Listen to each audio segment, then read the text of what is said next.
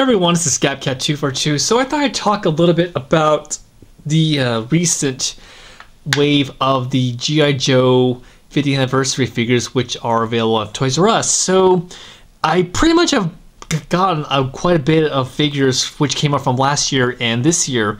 And there are some things I gotta say about it. Now, while these are figures which are supposed to be from the 50th anniversary of the G.I. Joe brand name, well, specifically for the 3 inch scale figures. Most of the figures I realized nothing was really new.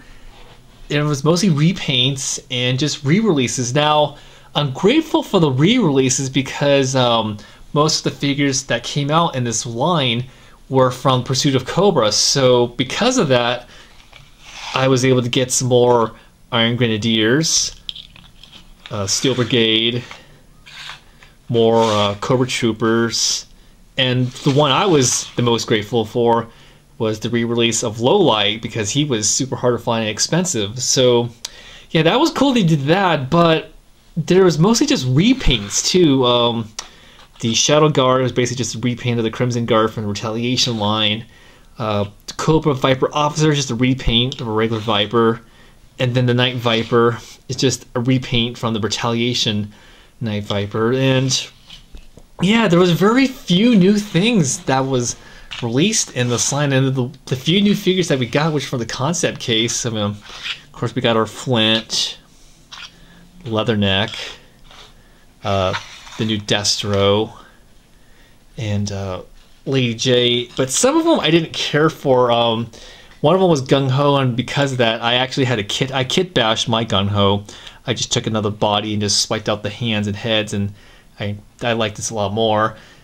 And yet, for some reason, there are 25th anniversary figures popping out in this wave. Like Alpine, I honestly did not like this version of Alpine. I'm actually gonna do some kit bashing on him, but um, the one that I skipped on, uh, I passed on the the Heat Viper and Blowtorch because seriously, I'm so sick and tired of Blowtorch. Passed on that.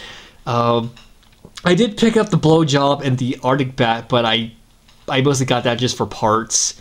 Uh, I didn't really buy much of the vehicle sets. Um, the figures from the recent line, like the two packs, um, I skipped on the Spirit and Storm Shadow. The Spirit figure's okay.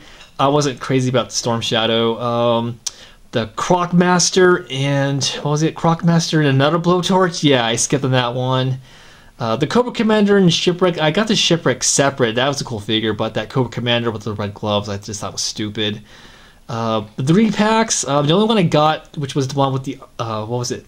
The Rock Viper, the Shock Trooper, and Alpine. That was okay, but I passed on the other ones. Uh, what was the three packs? I think it was what Zartan, uh, Hit and Run, and I think wetsuit. I don't know. I was not all that impressed with those figures, but I think like the worst one uh, was the three pack with Dusty, Bazooka, and I think what Firefly. Just, I don't know. They, to me, they just had really bad paint schemes, but I don't know. Uh, I was not really that excited about the rest of the, the 50th anniversary figures that came out later this year. Um, the ones from last year um, I got actually was kind of funny since Toys R Us has been the only store that's been selling these, uh, they kind of not really put much effort into selling them.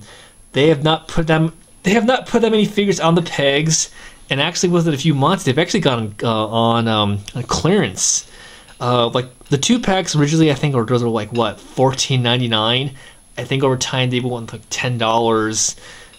But um, I don't know. It's just GI Joe is just not what it was as I remember it. I mean, it's now it's just kind of struggling, which is kind of weird because I remember was it what back in 2009 2010, you used to be able to go to Target, Walmart, any stores that sold action figures, and there'd be a Joe aisle, and now Toys R Us is the only store that has them. So I don't know. I'm kind of almost getting close, just being done collecting GI Joes, depending what Hasbro does with the line. I mean, I will still continue to collect figure older figures that I'm looking for, but I don't know. I'm kind of just going into customizing now, but I don't know. It's kind of a shame, like what Hasbro's doing with this line now. I mean, really didn't get anything new. It's must just been repaints.